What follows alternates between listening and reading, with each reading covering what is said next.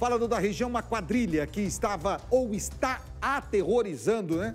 Porque estava aqui em Maringá com o reforço do policiamento daqui, elas, as quadrilhas disseminaram para os pequenos municípios da região. Agora, eles estão roubando carros em Bandaguari, Marialva. Vamos ver a reportagem? Roda aí.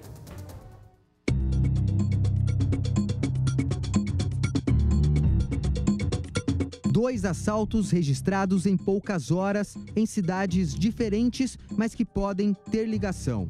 O primeiro aconteceu durante a noite, no estacionamento da unidade de pronto atendimento de Mandaguari. A vítima, uma mulher, que foi até a unidade em busca de atendimento, foi rendida assim que desceu do veículo por três homens armados.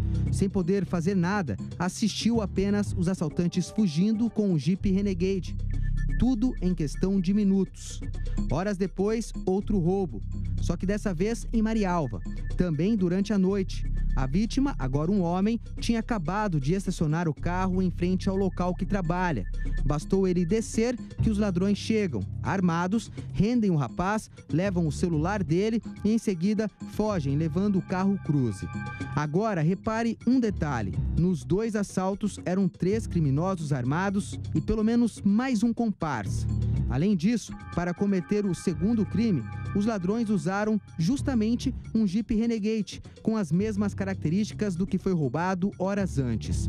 Outro detalhe: a semelhança dos suspeitos nos dois assaltos. Crimes como estes dois, mostrados nesta reportagem, já estão se tornando comuns aqui em Maringá e também nas cidades aqui da região.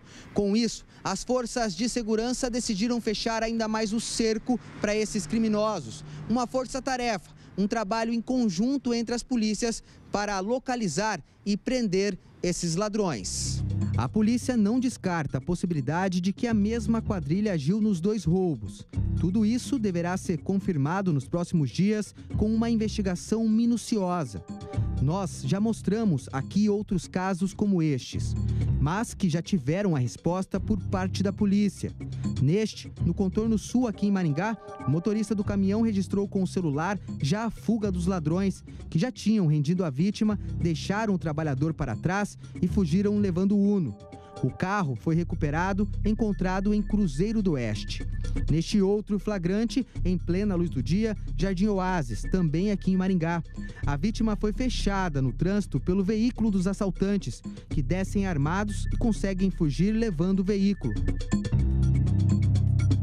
Ele também foi recuperado em Jataizinho, depois dos criminosos entrarem em confronto com a polícia. E mais um assalto. Bandidos invadiram uma clínica na região central aqui da cidade. Renderam todos que estavam ali, levaram a vítima até o estacionamento onde estava o Jeep Renegade e também conseguiram fugir levando o veículo. Ele